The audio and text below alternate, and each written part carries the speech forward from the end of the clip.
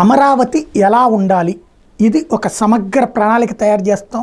జగన్ చేసిన విధ్వంసం దాన్ని ఎలా బాగు చేయాలి?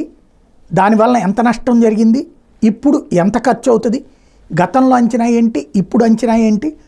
ఏ తరహా అభివృద్ధి చేయాలి? ఇదంతా కూడా ఒక సమగ్రమైనటువంటి ప్రిపరేషన్ చేస్తామంటూ చంద్రబాబు గారు చెప్పుకొచ్చారు. ఇప్పుడు అన్ని పార్టీల విధానపరమైనటువంటి ఆలోచనలు కూడా ఇక్కడ కీలకం. ఒకటి నవనగరాలతో కూడిన రాజధాని వస్తేనే అభివృద్ధి సాధ్యం. ఒక హైదరాబాదు ఒక బెంగళూరు ఒక చెన్నైతో పోటీ పడే నగరం అంటే ఆ స్థాయిలోనే ఉండాలి.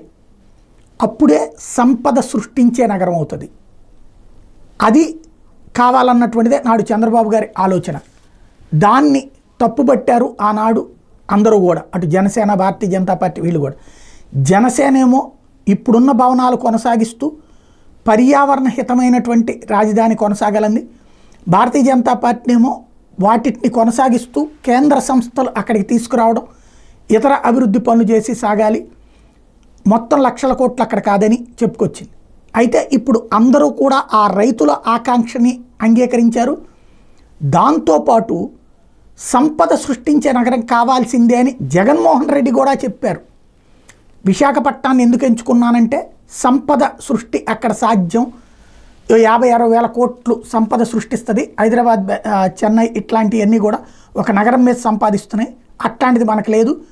అమరావతి కంటే విశాఖపట్నం అయితే వేగంగా అట్లా సంపాదించుకుంటుందని నేను ఎక్స్పెక్ట్ చేస్తున్నాను అని చెప్పుకొచ్చారు అంటే సంపద సృష్టించే నగరం కావాలని ప్రతి ఒక్కళ్ళ ఆకాంక్ష. సంపద సృష్టించాలంటే అమరావతిలో నవనగరాలు ఉండాల్సిందే. ఆ విధమైనటువంటి దిశగా ప్రణాళికని ప్రకటిస్తారా?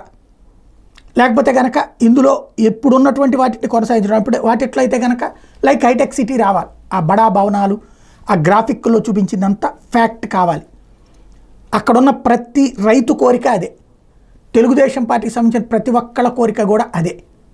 మరి ఏం చేస్తారు? ఫైనల్ రిపోర్ట్ ఏమిస్తారో చూడాలి.